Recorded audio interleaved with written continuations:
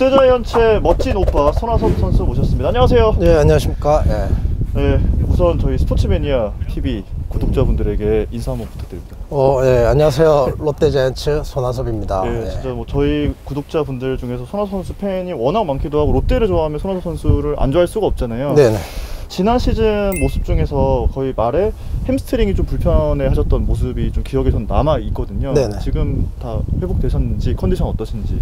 작년 시즌 끝나고 네. 이제 올 시즌을 준비하면서 햄, 햄스트링 보강에 대한 준비를 많이 했고요. 어, 지금은 또 괜찮은데 네. 하여튼 시즌 들어가서 또 많은 경기를 소화하면 뭐 어떻게 될지 모르기 때문에 하여튼 준비 더 좀 철저하게 해야 될 것 같습니다. 예.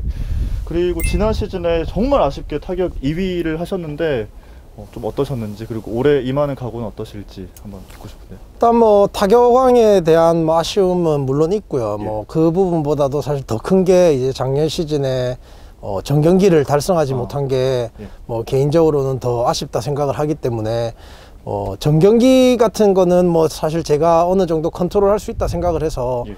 뭐올 시즌에는 뭐 좀 다시 정경기를 뛰어서 네. 뭐 좀 이런 제가 생각했던 부분들을 채워야 되지 않을까라고 생각하고 있습니다. 네, 저희도 그렇게 기대를 좀 해보겠습니다. 그리고 사실 뭐 팬분들은 손아섭 선수가 타석에 들어서면 정말 마음이 편하다. 왜냐면 뭐라도 해주니까 이런 생각을 하게 되는데 어, 타수는 어떤 타순이 가장 편하신지 궁금한데요. 일단 뭐 1번, 2번, 3번을 주로 쳤기 때문에 예.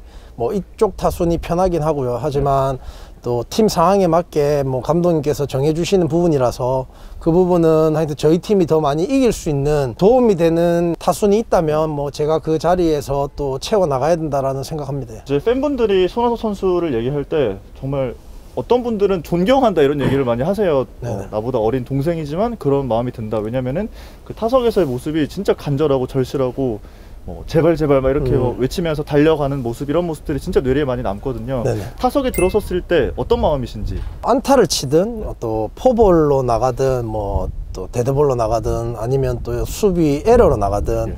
어떻게든 제가 타석에 있을 때는 최대한 저희 팀의 아웃 카운트가 안 올라가게 하자라는 생각이 강하고요. 예.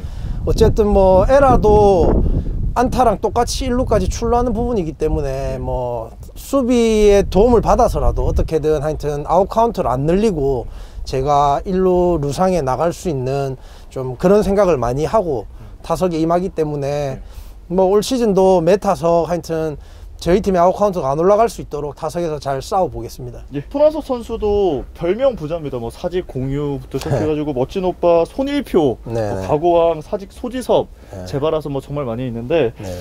어, 그만큼 팬들의 애정이 많이 있지 않나 이런 생각이 듭니다. 좀 개인적으로 여쭤보고 싶었던 게 선행을 또 많이 하시잖아요. 네네. 근데 올해도 등산을 하시다가 음. 또 부상당한 그 등산객을 또 구출해가지고 이렇게 네네. 잘 인계했다고 이런 얘기 들었었거든요. 네. 근데 또 이대승 트레이너 SNS를 제가 보고 아, 네. 알게 됐는데 네. 뭐 오늘 형이 좀 멋있어 보인다 이런 얘기 했더라고요. 네, 네. 한마디 해주세요.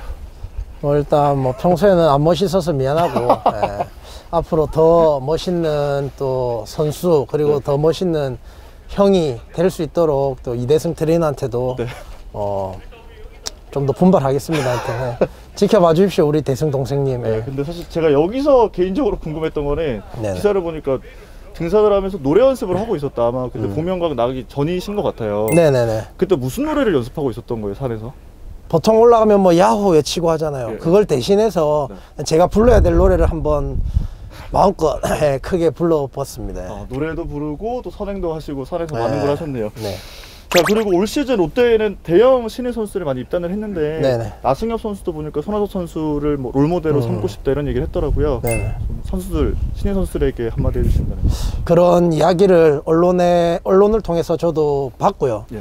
예, 하여튼 그런 후배들이 어, 그런 생각을 해주는 만큼 네. 어, 제가 좀 더 모범이 되고 또 뭔가 하나라도 더 후배들에게 좋은 영향력을 줄 수 있는 그런 모습으로서 또 선배로서 어, 야구 실력 이상으로 예, 좀 더 좋은 리더, 좋은 선배가 될 수 있도록 하겠습니다.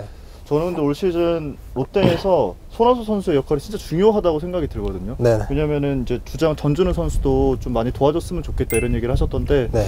전준우 선수에게도 한마디 해주시죠. 제가 개인적으로 좀 정말 존경하고 또 제가 많이 따르는 또 준우 형이 주장이 된 만큼 저도 중간에서 어, 준우 형이 하여튼 좀 더 신경을 덜 쓸 수 있게 어, 후배들에게 뭐 때로는 쓴소리도 하고 또 함께 이렇게 뭉칠 수 있는 그런 분위기를 만들 수 있도록 뭐 후배로서 하여튼 많이 최선을 다해 보겠습니다. 부족하저, 부족하더라도 이해해 주십시오, 준우 형. 예. 네, 뭐 진짜 진짜 기대가 저는 많이 되고요. 개인적으로 네. 정말 팬입니다. 제가 손흥민 선수를 이렇게 인터뷰하고 분석을 하다 보니까 제가 소름 돋는 분석을 하나 했거든요. 네 네. 손흥민 선수 숫자 중에 무슨 숫자 좋아하세요? 숫자 중에 뭐, 막 크게 그런 건 없는 것 같은데, 3번도 좋아하는 것 같고, 네, 뭐, 그리고 다른 거는요? 숫자 중에요? 뭐 크게 저, 아 없어요? 예, 없는 것 같은데. 제가 좀 예. 찾아보니까 로- 그 손흥민 선수가 야구를 하면서 진짜 희열을 느꼈던 그런 순간이 세 가지가 있었다고. 네네. 첫 번째가 입단했을 때, 네네. 이때가 2007년이었잖아요. 네, 맞습니다. 그리고 아시안 게임 금메달 땄을 때, 네. 이때가 2014년. 네, 맞습니다. 네. 그리고 하나 더 말씀하셨던 건 2017년 시즌에 준 플레이오프 4차전에서 네. 그때 네, 홈런 두개. 치시고 그때 기분이 정말 좋았고 기억에 남는다 이렇게 말씀하셨는데 네. 마지막 거는 뭐 개인적인 거니까 일단 빼고 네. 제가 생각을 해보니까 2007년, 2014년 올해가 몇 년이죠? 21년입니다. 예. 7, 14, 21. 7회 어. 배수 때 뭔가 진짜 좋은 일이 있으시더라고요. 그래서 저는 예. 올 시즌 뭔가 롯데에 또 손아섭 선수 음. 좋은 기운 때문에 좋은 뭔가 있지 않을까라는 네. 생각이 드는데 어떻게 생각하세요? 어, 저도 사실 몰랐는데 굉장히 또 그렇게 말씀해 주시니까 긍정적으로 받아들이고 네. 올 시즌 근데 제가 어, 올 초에 이제 인터뷰를 하면서 좀 이상하게 올해 좀 기운이 좋다라는 그런. 생각을 좀 네. 했었거든요. 그래서 어, 하여튼 올해 기운이 좋은 만큼 뭔가 저희 롯데 자이언츠와 또 손아섭이라는 선수가 네. 하여튼 어, 야구로서 좋은 쪽으로 사고 한번 칠 수 있도록 해보겠습니다. 알겠습니다. 설레발은 팬들이 다 할 테니까 네네. 우리 야구 선수들은 정말 그런 생각 하지 마시고 야구 집중하시고 좋은 결과 있으시면 좋겠고요. 네. 진짜 뭐 진짜 좋은 결과가 있으면은 오늘 했던 오늘 음. 했던 인터뷰 꼭 기억해 주세요. 아, 예, 알겠습니다. 네. 그리고 제가 선물로 준비한 게 있습니다. 아, 네네. 그 프로 입단하시고 나서 네네. 이제 용돈을 받아가지고 처음 했던 게 라볶이 아, 맞습니다. 10개 예. 사가지고 예. 그중에 4개만 드셨다고 어, 맞습니다. 그래서 이거를 그때 드신 게 이게 아, 맞는지 어, 맞습니다. 정확합니다. 그냥 예. 뭔가 그때 생각하시면서 어, 네. 힘내시라고 감사합니다. 예. 예. 잘 먹겠습니다. 예. 한 개, 한 개로 좀 부족할 수도 있지만, 근데 일단. 몸 관리하셔야 되니까 제가 뭐 알겠습니다. 마음은 예. 진짜 뭐 100개도 사드리고 싶은데 예, 잘 먹겠습니다. 감사합니다.